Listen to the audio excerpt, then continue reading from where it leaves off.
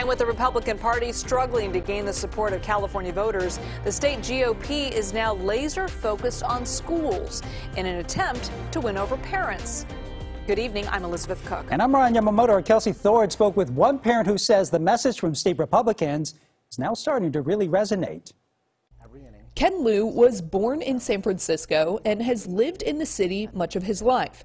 He and his wife had two kids while living in the Sunset District, but when their kids got old enough to go to school, the family decided to move to the suburbs. In San Francisco, with the lottery system, you're not guaranteed to go to your closest public school. So in 2019, the family packed up and moved down to Belmont. But then the pandemic hit. We had all the intentions of attending the public school systems down here in Belmont, uh, heard nothing but great things about them until they all shut down. Ken didn't agree with the district's COVID policies, so he enrolled his kids in a private school that continued to teach in person classes. And I think that at the early development ages, people need to learn in person. Ken is just one of thousands of parents who not only became more involved in their kids' education during the pandemic, but also became more critical of the public school system after the pandemic. That is why California Republicans are now making education one of their top issues. They believe they can find success at the ballot box by running on platforms focused on giving parents more power over what their kids are taught. You know, parents, they, they want to send their children to school to learn how to read, to learn how to write, to learn mathematics and science, and instead, they're coming back with, um, you know, interesting theories about American democracy, about free speech. Jason Clark is the vice chair of the Bay Area chapter of the California Republican Party.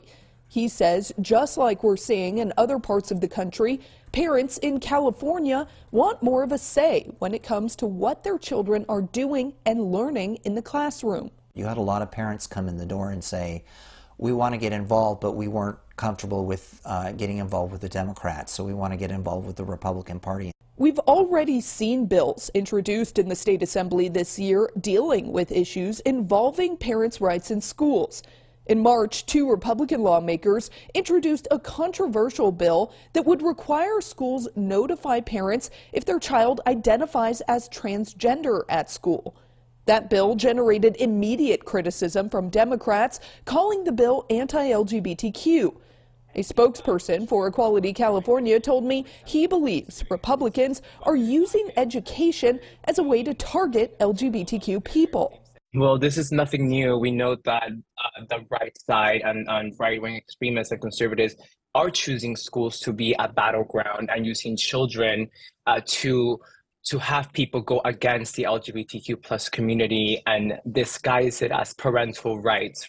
Jason told me he understands the concerns over that specific bill, but when it comes to parental rights as a whole, he says Republicans in California are not looking to target anyone. They're just looking to give parents the tools to become more involved in their child's education. You know, we believe that parents have the right to know what's going on in their children's lives without being kept a secret. But also, you have to balance that on making sure that you protect the, the children, too. Back at Ken's house, he told me he has no problem with that specific bill. I have no problems with the parents being informed of what's happening with their students in school. Ken says his focus is on giving parents more control over what their students learn and are exposed to at school. Ken thinks of himself more as a conservative than a Republican. And when it comes to issues like education, he wishes more people would focus on the actual policies rather than which political party is backing those policies. We always uh, compare the extremists versus those with the most common sense and very moderate, centralist, common sense ideas. And I think the biggest things we need is to put like daylight on the educational system so parents can know what's happening so they can support the educational system versus have to go battle it and fight it. Of course, the reality is that a majority of voters in the Bay Area and across California identify as Democrats.